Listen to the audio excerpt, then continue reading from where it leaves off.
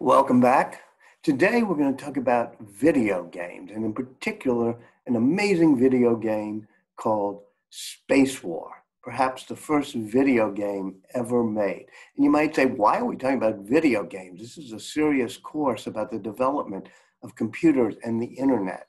Well, there's probably nothing more important, more influential in determining the way computers evolved than the advent of video games. Video games that allowed you to interact in real time with your computer, to have easy to understand graphical displays, and that were fun. They weren't just for number crunching. And this helps spur the computer revolution to being something that becomes personal and interactive and easy to use. It begins in 1946 with the MIT Tech Model Railway Club. This is a group of true hackers and geeks who hang around in the basement of a building in MIT where radar had been invented. And what they do is they create incredibly great model railway systems that are historically accurate, that are beautiful, that have bridges and buildings and wonderful circuits and controllers. If you really want to read about them, uh, the opening of Steven Levy's book, Hackers, which is one of the seminal books about the digital revolution, begins with the hackers of the Tech Model Railway Club at MIT and with a concept that's called, that they called the hands-on imperative. What does that mean? It means you should be able to get your hands on things. Back when uh, computers in the early days, you had to bring punch cards that were batch processed and uh, sort of the experts in the computer ran the punch cards overnight for you. What the Tech Model Railway Club and other hackers wanted to do is to get their hands on, to be able to hack things, to be able to make them the way they wanted it. And that hands on imperative is what drove the MIT Tech Model Railway Club.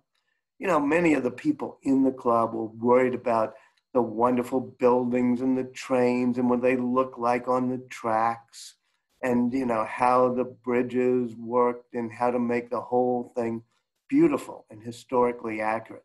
But there was a subcommittee of the MIT Tech Model Railway Club that was in charge of signals and power, the signals and power subcommittee. And they tended to all the relays and the wires and the circuits. Uh, as Steve Levy said, in this tangled web, they saw beauty. And catch that word circuit for a moment, because there they are creating beneath the railway board and in other places circuits filled with on off switches and controls. And these are, of course, computer geeks. And they're beginning to understand the power of circuits to regulate things. So to them, the Signals and Power Subcommittee that was in charge of the circuits for the railway, that was just like being a computer programmer. It was just like what Claude Shannon and others did, which is express logic with on off switches. In September 1961, the Digital Equipment Corporation, based in Boston, donated the prototype they had built of a computer called the PDP-1. And that computer was very special because it appealed to people with the hands-on imperative. In other words, it didn't have a whole lot of punch cards you had to enter. You could work with it directly with human interaction using a keyboard. In this case, in the earliest case, which is an old typewriter that had been repurposed. And it had a digital monitor that could display graphics. It was the size, the main computer, of about three refrigerators. So it was pretty big, but it was personal. One person could use it, didn't have to timeshare it, and it could be directly interactive. You didn't have to wait for the processing of punch cards or anything else. You could just type something into the computer or point to something on the screen, and the computer would interact instantly. And so a group of the MIT Railway Club, some of the hardcore hackers in that club, especially on the Signals and Power subcommittee, began to circle the uh, computer and they formed a cabal. They called it the Hingham Street Institute because that's where they had their uh, apartment where they lived. And they wanted to conjure up something to do with it, something that would be fun, that would make use of all the graphics in the machine. So they all worked together as a team, creativity being a team sport, to figure out what could they do with this computer that would actually make use of all of its hands-on, interactive, graphical features. And the lead was a guy named Steve Russell. He talked really fast, like a chipmunk, but sometimes he procrastinated. So he was called Slug Russell by his friends. He loved science fiction and science fiction movies and trashy science fiction novels. He was particularly fond of a genre of science fiction called space opera, which was a specialty of some really schlocky writer named Doc Smith. And as uh, Steve Russell said about Doc Smith's book, his heroes had a strong tendency to get pursued by the villain across the galaxy and to have to invent their way out of their problem while they were being pursued. And so that gave Steve Russell and his friends the idea of what they could do with this PDP-1 computer from DEC, which was build a game that was like a space opera, that was like a space war.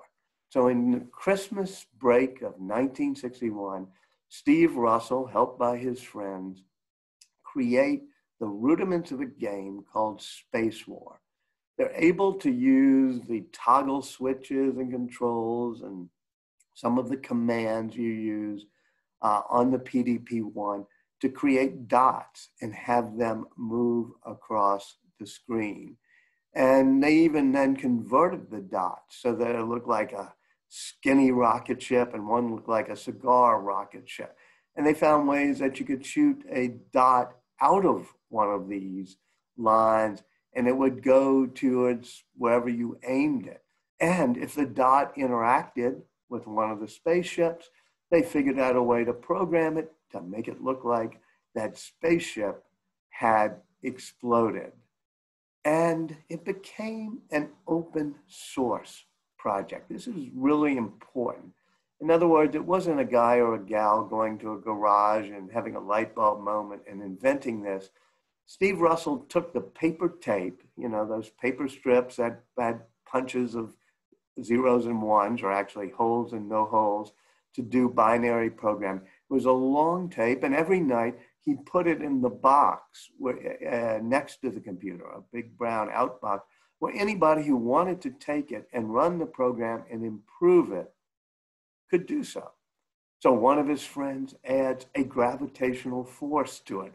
So if you get near the sun or one of the stars, you actually see it curve, the spaceship curves slightly. And then somebody figured out that it would draw you into it. But if you did it just right, if you passed the sun just right using that gravitational force as a guide, it would be a slingshot and it would make your rocket go faster.